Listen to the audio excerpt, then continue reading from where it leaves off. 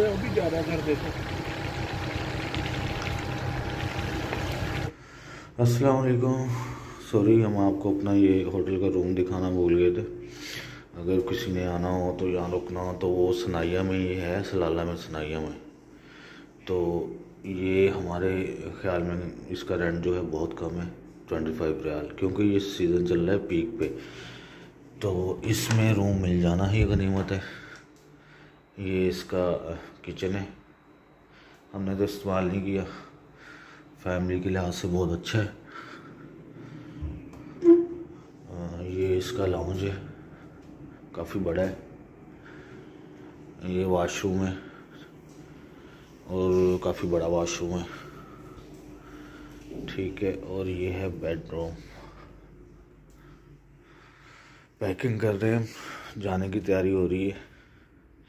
वैसे तो हमने ज़्यादा दिन रुकना था, लेकिन तीन दिन हो गए मैं आए हुए। जा रहे हैं वापस, शहबाज भाई तैयार होकर नीचे चले गए हैं, गाड़ी के पास।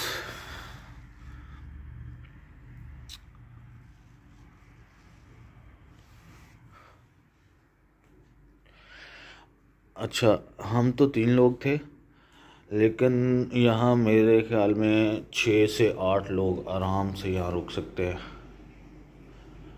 बहुत जगह है।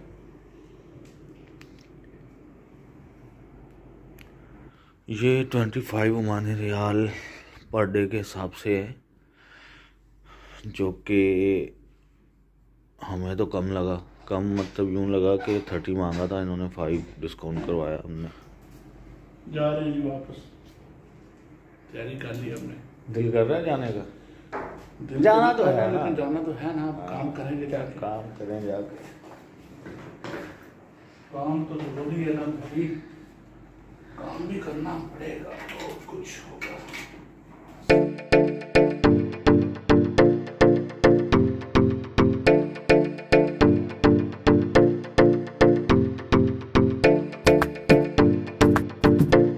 वैसे ऑफ़ सीज़न आए तो ये जो हमारा रूम था ये भी दस पंद्रह रियाल में मिल जाता है। लेकिन उस वक्त आने का फ़ायदा नहीं है गर्मी होती है ये ग्रीनरी नहीं होती। खरीफ कहते हैं सीज़न को। हाँ। जी ओके भाई। हाँ? उठी है। हाँ ओके ये बीमार रहता नहीं इंशाल्लाह हाँ? Very good.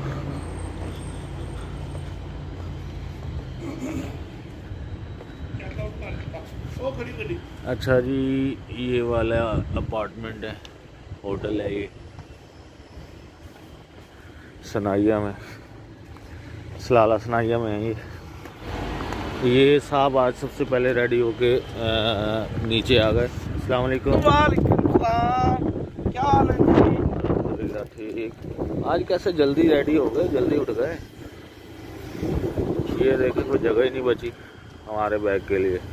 चलो रुको रुको दोबारा बैग रख देंगे अब। परायों वाला सलूक करते हैं ये हमारे साथ। मौसम आज भी अच्छा है। अब हम निकले हैं तो रात को पहुँच जाएँगे। कहना तो मेरा दिल नहीं करता जानना पर एकदम आ बंदा साथ लैके भी चले ये साजिद भाई का वापस जाने का दिल नहीं कर रहा था। दो तीन बार तो वापस रूम में भाग गए थे फिर हम पकड़ के लेके आए हमने कहा चलो वापस अब जाने है ना निकालते इनको बाहर तो होटल वालों ने निकाल होटल वाले। ये जी हम वापस जा रहे हैं। सलाला से मस्कत की तरफ़। ये जबल है जबल। पहाड़ों पे हम जाते हुए, ये देखें। ये चेक करें जी मौसम बड़ी गाड़ियों वाले के लिए बहुत मसला है ये मौसम में ये